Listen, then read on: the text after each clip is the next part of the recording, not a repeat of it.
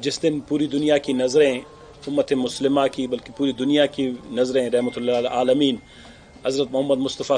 अलैहि वसल्लम के रोज़ मुबारक की तरफ़ होते हैं, जहाँ पर पूरी दुनिया जाते हैं, अपने गम और अपने तकालीफ और मुश्किल को बयान करते हैं और वहाँ से मदद मांगते हैं। लेकिन अफसोस की बात यह है कि आपने देखा कि सताईसवें के दिन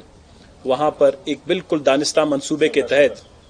गुजशत दस पंद्रह दिन से जो दानिस्तान मनसूबा बनाया गया था। शेख रशीद की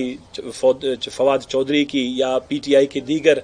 जो उल्लड़बाज सियासी क्यादत है, उनकी जो सरबराही में एक इस तरह का प्लान मनसूबा बनाया गया था कि रोज़ रसूल में वहाँ पर जो पाक मुल्क की सियासी क्यादत है, जो उम्र की अदायगी के लिए हमेशा जाते रहे हैं, चाहे वो सियासी मनसब पर हों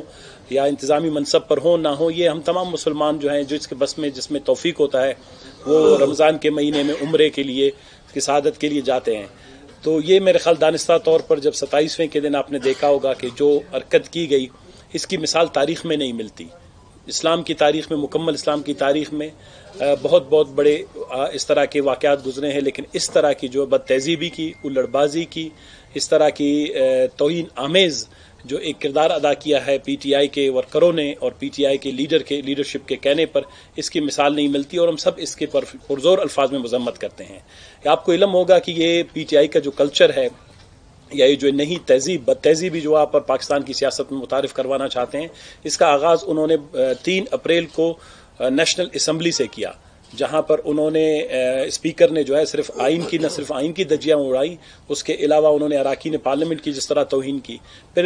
इसका एक दूसरा जो मरला था, वो 16 अप्रैल को आपने लाहौर में जो डिप्टी स्पीकर है पंजाब असम्बली मीर दोस्त मोहम्मद मजारी साहब के साथ, जो उन्होंने सलूक किया, आपने देखा होगा, इसी तरह उनके बाल खींचने की कोशिश की गई। तो ये लगता ये है कि ये बाकायदा तौर पर तरबियत याफ्ता बद तहजीब एक ग्रोह है, जिसको उन्होंने तरबियत की है, और उनके ख्याल में हम सियासत पे इस तरह काबिज होंगे। हम लोगों के दिल और दिमाग पर काबिज होंगे, लोगों को खौफ और रास का शिकार बनाएँगे।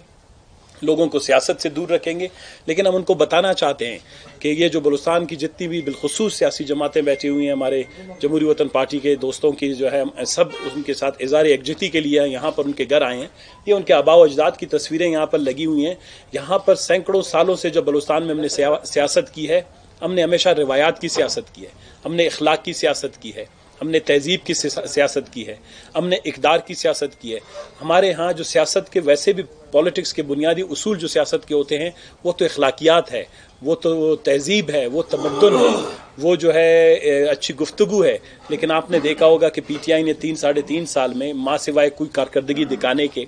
मुलाजमतें देने के, पाकिस्तान की मीशत को बेहतर बनाने के, या मुल्क को जो है तकलीफ़ और मुश्किल से निकालने की बजाय माँ सिवाय एक गंदी कल्चर के बद तहजीबी के बद जुबानी के बद अखलाकी के, नाचने और गाने के सिवा उन्होंने सियासत में कोई और नया फ़िक्र नहीं दिया।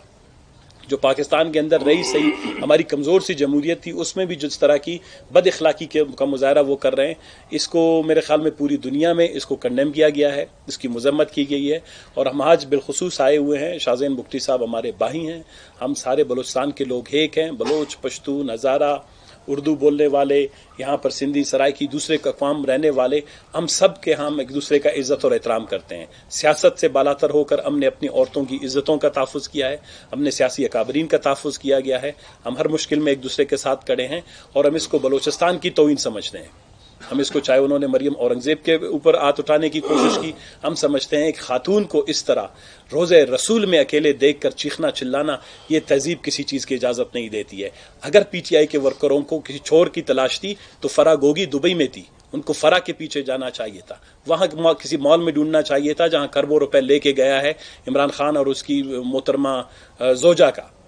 वो उनको बलूचिस्तान के रोज़े रसूल में जाकर किसी को ढूँढने की ज़रूरत नहीं, और इसका फैसला हवाम करेंगे कि कौन किसने मुल्क को तबाही के दाने पर पहुँचाया। तो हम तमाम सियासी जमातें एक दफ़ा फिर अगर पीटीआई के कारकुनों ने या पी टी आई ने इसके बाद भी इस तरह की गैर अखलाकी का मुजाहरा किया बलुस्तान की बिलखसूस और पाकिस्तान की तमाम सियासी जमातें मिलकर हम उनका हर फोरम पर इखलाक से मुकाबला करेंगे, तहजीब से मुकाबला करेंगे तमदन से मुकाबला करेंगे, अदब से मुकाबला करेंगे। हमने बेअदबी सीखी नहीं है और ना हम अपने कारकुनों को बेअदबी का कहेंगे। हम तमाम कारकुनों को पुरमन रहने की हिदायत करते हैं और बाद में हम इसका जो भी सियासी तौर पर, हमारी सियासी जमातों ने फैसला किया, हम अपना इस सिलसिले में फैसला जो है महफूज रखते हैं कि इसके हवाले से हम पीटीआई के लीडरशिप को इसका जवाब कैसे दें।